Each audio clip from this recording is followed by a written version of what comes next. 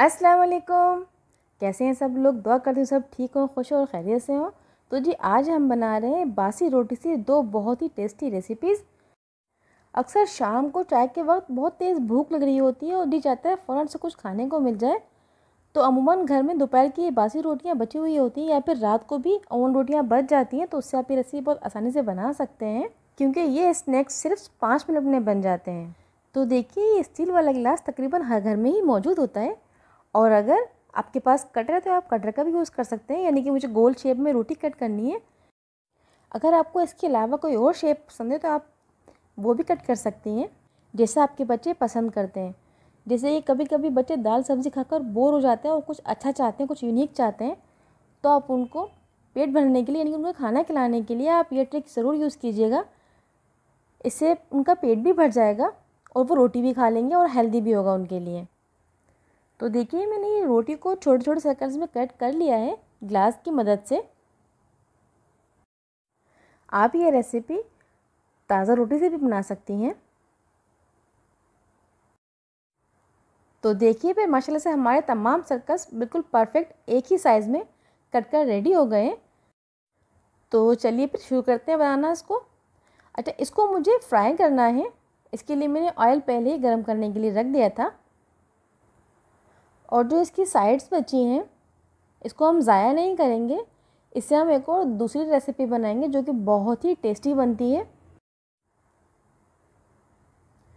अब मुझे अपनी ये छोटी छोटी रोटीज़ को सर्कल्स को फ्राई करना है। और ऑयल जो है वो ठीक ठाक गर्म है, इसलिए कि ये कच्ची नहीं है तो पकी हुई है, हमें सिर्फ़ इनको क्रिस्पी करना है और कलर देना है। तो मैंने ऑयल को तेज़ गर्म किया है, ताकि जल्दी से कलर आ जाए इसके अंदर और ये क्रिस्पी हो जाए। अब देखिए, माशाल्लाह डालते ही ऑयल के अंदर ये कैसे फ़ौरन से फूल गई है कचौरी के स्टाइल में लग रही हैं और बहुत ही प्यारा गोल्डन कलर आ गया इन पर और ये क्रिस्पी भी बहुत हो गई हैं। देखिए, माशाल्लाह कितनी परफेक्ट बनी है, बिल्कुल। बहुत ज़बरदस्त लग रही हैं ये। इस तरह छोटे छोटे काम कर लेने से हमारे बच्चे बहुत ज़्यादा खुश हो जाते हैं और बहुत अच्छी तरह से खाना भी खा लेते हैं। और देखिए, इस तरह से वो रोटी खाएँगे। और उनका पेट भी भर जाएगा और उनकी डिमांड भी पूरी हो जाएगी, जो कि वो चाहते हैं यूनिक खाना और स्नैक्स टाइप से। तो ये बेस्ट ऑप्शन है बच्चों को रोटी खिलाने का। अब देखिए, सारे पीस माशाल्लाह फ्राई कर लिए हैं मैंने और बहुत ही क्रिस्पी हो गए हैं ये। तो चलें फिर इसको और ज़्यादा मज़ीद टेस्टी और अट्रैक्टिव बनाते हैं। ये तमाम क्रिस्पी रोटी की पीस मैंने तवे पर रखे हैं। अब देखिए मैं इसके ऊपर टेस्ट देने के लिए चिली गार्लिक सॉस यूज़ कर रही हूँ और अगर आपको ये पसंद ना हो तो आप इसमें सिंपल कैचअप भी यूज़ कर सकते हैं। और अगर कैचअप भी आपको अच्छा नहीं लगता है, अगर नहीं कि आप बिगनर हैं, बड़े आप बना रहे हैं अपने लिए तो आप इसमें पिज़्ज़ा सॉस भी यूज़ कर सकते हैं। उससे बहुत ही ज़बरदस्त टेस्ट आएगा इसके अंदर इन अभी मेरे पास सिर्फ़ ये अवेलेबल था तो मैंने वो लगा दिया है इस पर। और साथ ही मैं इस पर शिमला मिर्च मैंने कट कर ली छोटे छोटे क्यूब में। इसको खूबसूरत लुक देने के लिए मैं शिमला मिर्च सजा रही हूँ इसको। और इसके बाद मैंने छोटे छोटे प्याज कट किए हैं। वो शामिल कर रही हूँ मैं इसके ऊपर। और सुबहान अल्लाह, माशाल्लाह, बहुत ही बहुत ही प्यारा लुक आया है इसका। और उसके बाद मैं इसमें टमाटर ऐड करूँगी। वो भी मैंने छोटे पीस में कट कर लिए हैं और ये बिल्कुल ऑप्शनल हैं। आपको जो भी पसंद हो आप वो इस पर ऐड कर सकते हैं, यानी अगर आपको कॉर्न पसंद है तो आप इस पर कॉर्न डाल सकते हैं, आप इस पर ऑलिव डाल सकते हैं या या एवन आप इसके ऊपर आलू बॉयल करके उसकी भी मसाला बना कर डाल सकते हैं या चिकन भी आप इस पर ऐड कर सकते हैं। अब देखिए इसके बाद मैंने इस पर प्रोसेस चीज़ शामिल कर रही हूँ। ये मैं ऑलरेडी आपको अपने चैनल पर बनाना बता चुकी हूँ। इससे इसका टेस्ट तो यमी आएगा ही। साथ में इसका लुक भी बहुत ही डिलीशियस हो जाएगा। और देखिए, माशाल्लाह कितना यमी कितना ज़बरदस्त लग रहा है ये। और सुबहान अल्लाह मेरे अल्लाह ताला ने हर चीज़ में अपनी शान रखी है। और उसने हमें हर नेमत अदा की है। उसकी हर नेमत पे लाख लाख शुक्र अदा करें तो भी कम है। बेशक। अच्छा जी, अब मैं इसको दो मिनट के लिए चूल्हे पर रख रही हूँ ताकि चीज़ मेल्ट हो जाए और अगर आपके पास माइक्रोवेव ओवन है तो आप उस पर भी इसको ईज़िली मेल्ट कर सकती हैं। सिर्फ़ मकसद इस पर, तवे पर रखने का ये है कि इसकी चीज़ मेल्ट हो जाए और उसके लिए दो मिनट काफ़ी हैं या उससे भी कम में। इनशाला ये हो जाएगी और मैंने इसका चूल्हा बहुत स्लो कर दिया। देखिए, माशाल्लाह से चीज़ मेल्ट हो गई है और सुबहान अल्लाह माशाल्लाह, पाँच मिनट में हमारे मिनी पिज़्ज़ाज बनकर रेडी हैं, जो कि हमने बासी रोटी से बनाए थे। और देखिए कितना ज़बरदस्त, कितना यम लुक है इसका। और देखिए बिल्कुल भी नहीं जले नीचे से, बिल्कुल परफेक्ट बने हैं ये। और बच्चे देखकर कितने खुश हो जाएँगे इनको। आप आइडिया लगा सकते हैं। तो चलिए फिर अपनी दूसरी रेसिपी स्टार्ट करते हैं। वो भी बहुत ही ईजी और बहुत झटपट बन जाती है। देखिए जो ये मैंने वैसेज थी, इसको मैं सीज़र की हेल्प से स्टिप्स में कट कर रही हूँ। अगर आप चाहें तो इसको आप नाइफ़ की वजह से भी कट कर सकती हैं। अच्छा इसको हमने बहुत मोटा नहीं कट करना है, मुझे इसको बारीक कट करना है, जैसे कि पास्ता वाली लुक आए या फिर नूडल्स वाली लुक आए देखने में। इस तरीके से। बहुत यमी बनता है ये भी और बहुत जल्दी बन जाता है ये स्नैक्स।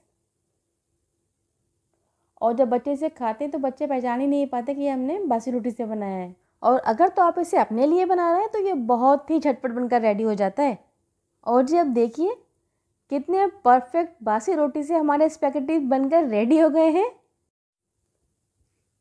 तो ये स्पैगेटी पास्ता बनाने के लिए मैंने एक पैन में दो टेबल स्पून ऑयल या घी ले लिया है। और इसमें मैं एक टेबल स्पून मैदा शामिल कर रही हूँ, उसको मैं अच्छी तरीके से भूनूँगी, इतना कि इसमें से खुशबू आने लगे। और इसका कच्चा पान निकल जाए। इस तरीके से इसे मिक्स करते करते, ऊपर नीचे करते हुए इसे भून लेना है अच्छी तरीके से और माशाल्लाह बहुत ही ज़बरदस्त खुशबू आना शुरू हो गई है इसके अंदर से अब, क्योंकि ऑयल हमारा गर्म था। अगर आप चाहें तो इसमें मक्खन भी ऐड कर सकते हैं या आप देसी घी भी ले सकते हैं। जो भी आपको पसंद हो, आप अपने टेस्ट के हिसाब से इसमें शामिल कर सकते हैं। और अब मैंने इसमें एक कप रूम टेम्परेचर पर रखा हुआ दूध शामिल किया है इसमें ग्रेवी देने के लिए। और इसे बहुत अच्छे तरीके से मिक्स करना ताकि इसमें लम्ब ना पड़े। और ये दूध डालते वक्त आप जहन में रखें कि आप इसका चूल्हा स्लो कर दीजिए स्मूथ ग्रेवी बनाने के लिए। और अब इसके बाद मैं इसमें वेजिटेबल्स ऐड कर रही हूँ। ये मैंने थोड़ी शिमला मिर्च कट कर ली है और थोड़ी गाजर है और थोड़ी प्याज है और थोड़े से टमाटर हैं। ये मैंने जुलन कट में कट किए हैं। ये ऑप्शनल है, अगर आपको ये पसंद ना हो तो आप ये ना डालिए। आप इसमें अपनी मर्ज़ी की वेजिटेबल्स ऐड कर सकते हैं, आप इसमें चिकन ऐड कर सकते हैं, अगर आप चाहें तो इसमें बॉयल कॉर्न ऐड कर सकते हैं। उससे भी काफ़ी यमी टेस्ट आता है इसका। अब मैं ये सारी वेजिटेबल्स डालकर इसको हल्का सा नरम करूँगी। बहुत पकाना नहीं है इसे, सिर्फ़ हल्का सा इसकी कच्चापन निकल जाए। और उसके बाद मैं इसमें आधा टीस्पून नमक का शामिल कर रही हूँ और आधा टीस्पून मैंने पिसी काली मिर्च शामिल की है इसमें और आधा टीस्पून मैंने इसमें कुटी हुई लाल मिर्च शामिल की है। अगर आप बच्चों के लिए बना रहे हैं तो आप ये ना शामिल कीजिए। और साथ ही मैं इसमें थोड़ी सी प्रोसेस चीज़ ऐड कर रही हूँ या जो भी आप पास अवेलेबल हो चटर चीज़ या मोजला चीज़ आप उसमें वो शामिल कर सकते हैं। टेस्ट देने के लिए। अब जैसे ही चीज़ मेल्ट होगी, मुझे हमने रोटी से स्पैगेटी कट की थी, वो शामिल कर देंगे। देखिए, माशाल्लाह कितनी परफेक्ट कट कर रेडी हुई है ये। अब ये शामिल करने के बाद इसको हल्का सा नरम करना है, यानी कि इसको तीस सेकंड के लिए पकाऊँगी मैं, ताकि ये नरम हो जाए। और जी, माशाल्लाह से हमारा बहुत ही ज़बरदस्त बासी रोटी से बना हुआ पास्ता रेडी है। लजानिया पास्ता भी इसे कह सकते हैं आप।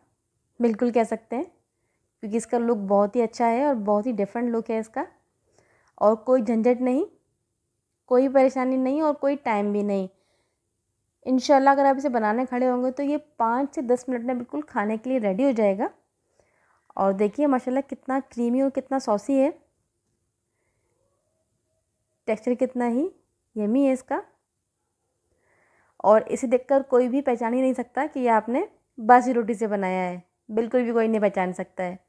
तो जी, अगर रेसिपी अच्छी लगी हो तो प्लीज़ मुझे कमेंट में ज़रूर बताइएगा और मेरे चैनल को अगर सब्सक्राइब नहीं किया तो प्लीज़ सब्सक्राइब कीजिए लाइक कीजिए और शेयर कीजिए। दुआ में याद रखिए। हमेशा खुश रहिए। अल्लाह ताला हमेशा आपके रिस्क में दस्तखान में बरकत दे।